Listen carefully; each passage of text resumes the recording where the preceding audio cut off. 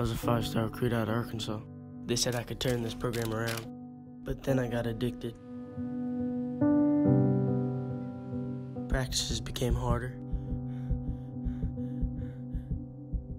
but I couldn't quit now. And then it took everything from me.